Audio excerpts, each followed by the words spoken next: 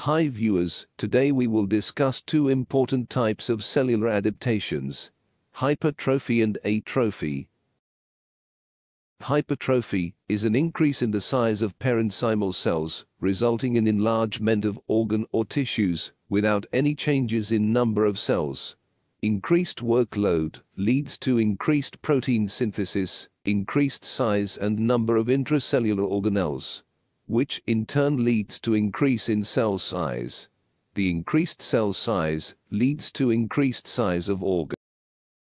If we talk about the mechanism of hypertrophy, hypertrophy is the result of increased production of cellular proteins.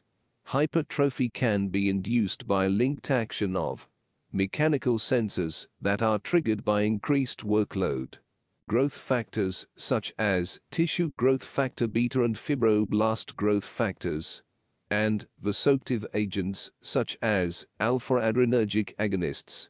Hypertrophy may be physiological or pathological. In both cases, it is caused by increased functional demand. The striated muscle cells in heart and skeletal muscles have only a limited capacity of division and respond to increased metabolic demand, mainly by undergoing hypertrophy. The most common stimulus for hypertrophy of muscle is increased workload. Enlarged size of uterus in pregnancy is an excellent example of physiological hypertrophy hypertrophy of cardiac muscles that may occur in number of cardiovascular diseases is a best example of pathological hypertrophy.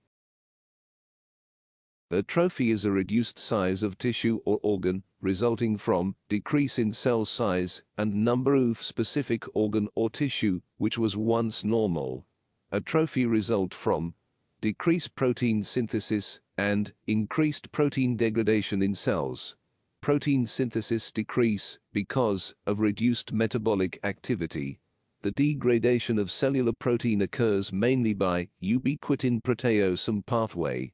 Nutrient deficiency and disuse may activate protein ubiquitin ligases, which attach the small peptide ubiquitin to cellular proteins and target these proteins for degradation in proteasomes proteasomes basically destroy or degrade unneeded or damaged proteins by a process called proteolysis.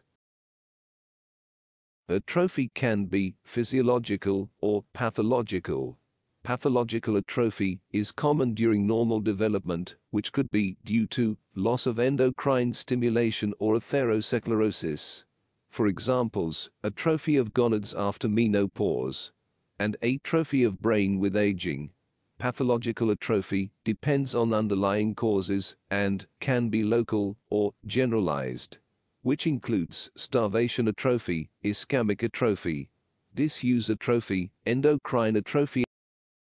So, that's all about hypertrophy and atrophy. Hope you like this video. Suggest the topic in comments section below on which you want me to make my next video. And also subscribe to my channel, PharmaCD, for more cool content about pathology and medicine. Thank you.